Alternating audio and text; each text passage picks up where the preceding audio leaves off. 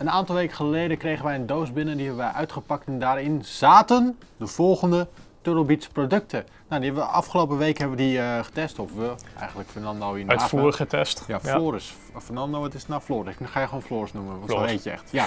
Hey, uh, laten we beginnen met deze Stelt 350 VR headset. Waarom Ja. heb ik het nodig? Ehm, nou, we hadden vorige week, of nou ja, een tijdje terug, hadden we de 550 Pro. Hè? Ja. Ehm, die was eigenlijk gemaakt gewoon voor je allround eh, gaming. Gewoon standaard tot de headset, eh goede microfoon. Ja. Maar deze is specifiek gemaakt voor virtual reality.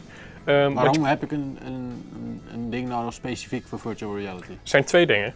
Eén, deze heeft een vrij ruime kopband. Dus hij heeft ruimte voor, voor die band van de virtual reality bril. Ja. En twee, hij heeft 3D audio. En dat is bij virtual reality heel belangrijk, want alles gebeurt om je heen. Ja. Dus je wil eigenlijk kunnen horen als, in virtual reality wil je ook kunnen horen als iets van achter komt, van links of van rechts. Het maakt de ervaring nog net iets toffer. Sick. En hoe werkt dat, de 3D audio?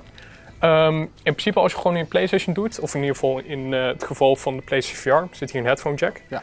Kan je gewoon doen. Je hoeft niks in te stellen, het werkt gewoon. Oké. Ehm, bouwkwaliteit is prima. Het is een beetje licht plastic, dus ik zou hem niet al te hard laten vallen als je schikt in virtual reality. Eh, microfoon, die is zeer verdienstelijk. Zeker voor de prijs, is ongeveer 80 euro geloof ik, dit dingetje. Dus eh, ik, eh, ik was aangenaam vast, de microfoon. Maar ehm, werkt hij op batterijen of een accu'tje? Ja, dat is eigenlijk het grootste nadeel. Je moet hem elke keer opladen. Zelfs als je met een kabel gebruikt. Normale oortjes of headphones hebben dat niet nodig. Ja. Doe gewoon een kabel in en dan werkt hij.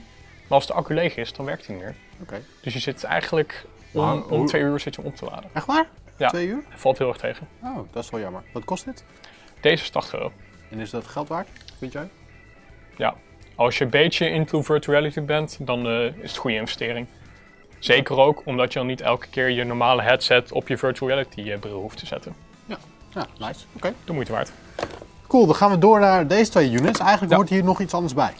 Hier hoort nog eigenlijk een headset bij. Die hebben we helaas niet gekregen, maar deze werkt ook zonder de bijbehorende Elite Pro headset. Ja. Ehm, dit is de Tactical Audio Controller. Die doe je aan je computer via een micro-USB-kabel. En dan kun je via al deze prachtige schuifjes ehm, kan je het audioniveau variëren. De bas, ehm, hij emuleert. Dus hij doet 7.1 surround na. Dus het is net Ja. alsof je zeven speakers rond je hebt staan. Vet. Dus eigenlijk als je deze aansluit met een goede headset, ik zou wel zeker iets van 50 euro op aansluiten voor een beetje kwaliteit. Maar het lijkt dus echt alsof het geluid van overal om je heen komt. En dat is zeker bij films echt heel tof. Sick.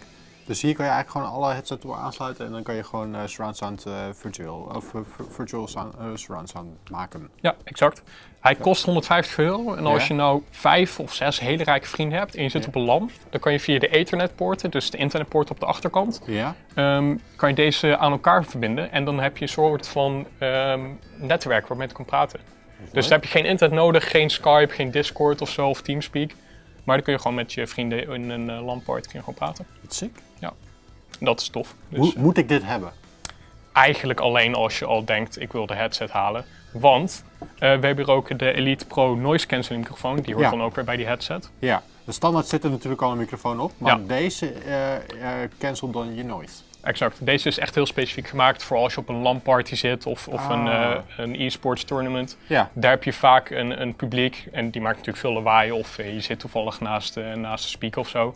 Deze zorgt dan voor dat jouw team alleen jouw stem hoort. Zodat ze niet overrompeld worden door het geluid van de dus omgeving. eigenlijk iets meer voor de e-sporter. Ja, dit, is dit, dit pakket. ehm, samen met de headset kost het namelijk 375 euro en dat is veel geld Ja, voor alleen audio. Maar dan heb je wel eh, top of the line. Dit is echt top of the line. Beter haal je het eigenlijk niet qua Want professionele hoe, audio. Hoe, hoe klinkt dit eh, microfoontje? Je hebt, je, een, je hebt een opgenomen. toch? Ja, deze is eigenlijk. ehm, ja, ik was ook heel aangenaam verrast hierdoor. Hij was heel helder, ehm, goed geluid, heel vol. Ja. Dus eh Nou, goed spel.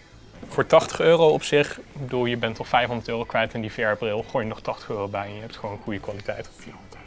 Nou ja, 400, sorry. Okay, thank you all. Bye.